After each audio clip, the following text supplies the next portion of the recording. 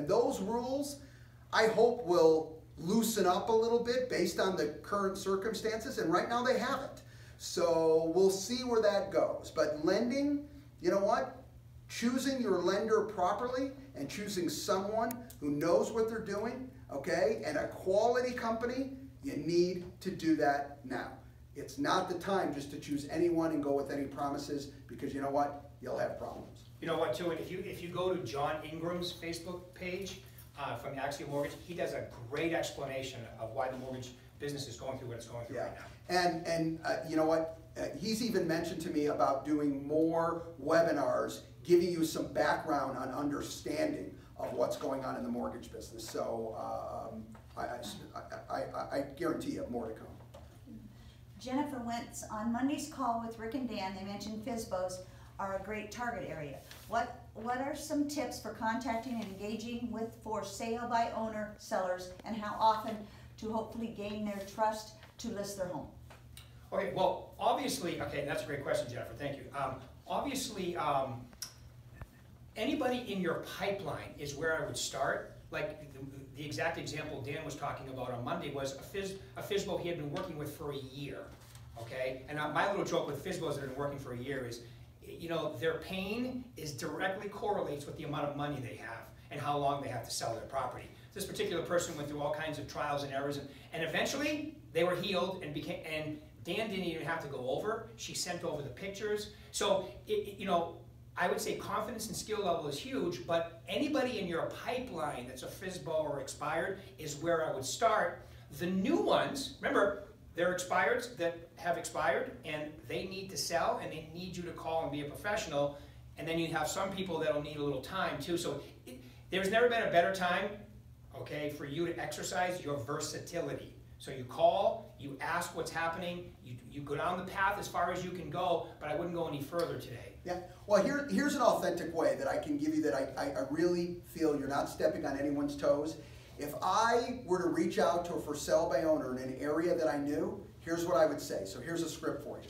I would call up and I'd say, you know what? I'd introduce myself, tell them who I'm with, okay? And then I would ask them this. I'd say, listen, based on inventories being very low today and that properties are being restricted for, some of the properties are being restricted to show.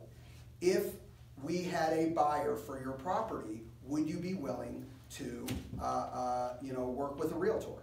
All right, I know that you're, you're uh, marketing on your own, I'm just wondering, due to the lower inventories. If they say yes, great. If they say absolutely not, say, okay, thank you for your time.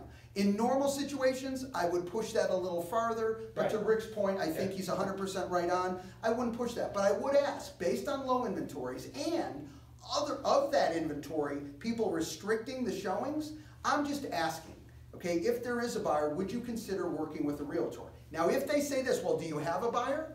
Say, well, I, I don't know, we haven't seen the home, okay? We'd love to be able to see the home if you're comfortable with that based on this timing. We can also go when you're not home, okay? If you wanna leave a key, whatever. Work it out, whatever they're comfortable with, asking their permission. Yeah, it's, it's crazy because the, the script you just went through is very similar to the one in the Book of Everything. The only difference I would say is, because in the Book of Everything it says, can I come over and preview your home? That's probably not a great idea today because that'll freak some people out. But most people have a complete set of pictures that they can send you over that you could sit down and go through. So I would make that one change today. Have 'em s- and if they're expired, you already have all their pictures, Yeah. right? No, that's a great idea. And last but not least, and this is not perfect, we're giving you ideas in the environment that we're in now, is you might say, you know what, why don't I do this? Why don't I touch base with you in the next three weeks, reconnect, see where we are based on everything going on today, and we can schedule a showing down the road, or I'm sorry, schedule a preview down the road. Right. So you're not doing it right away, but you've now opened up the conversation for the future. You laid the groundwork, you put it in your CRM that you're gonna reach back out to them in three weeks, and you do it at that time, okay? Different ways. And just gonna add one thing to that. And if it's vacant, you can obviously go over right away.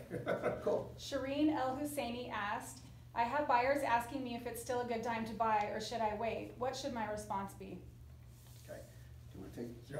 Well, I, I- honestly, if I'm a buyer right now and I'm not overly freaked out about getting out and looking at property, you have less competition right now. And you have people that expect you to still sell them a house today too, remember that. And you have some people that expect to wait, and some people, so I would say, once again, you have to use your versatility. If they still wanna buy a house today, I know what I'm doing, I'm selling them a house. Yeah, and let me add this. Listen, I, I've always talked about beliefs are powerful. So what you believe makes the decisions in your life. And here's what I believe, so you know.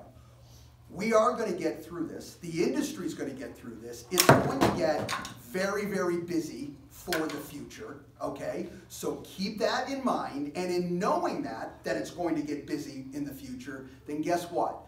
I can get my buyers in today to purchase it before it goes crazy again. Because I'm telling you this, interest rates are going to be low for a while from that standpoint. You're going to get a flood of buyers coming in, and your buyer is going to deal with other issues from the past that they're not having to deal with today. So, to answer your question is, it is not only a phenomenal time to buy, but you have opportunities in this segment of time. Terrible situation, but it is what it is for that purchaser. Today, they don't have to deal with some of the challenges like numerous multiple offers and other challenges of so much competition. And I would say in California especially, because they have, you know, Arizona and Nevada, we have low inventory. California has almost no inventory. Yeah, really tight. Okay, with that said, one more question and then we'll call it a day. Hannah Wardy, in this current climate of social distancing and sheltering in place, any recommendations for new agents looking to expand their SOI? Okay. Um, here's, again, here's what I would recommend.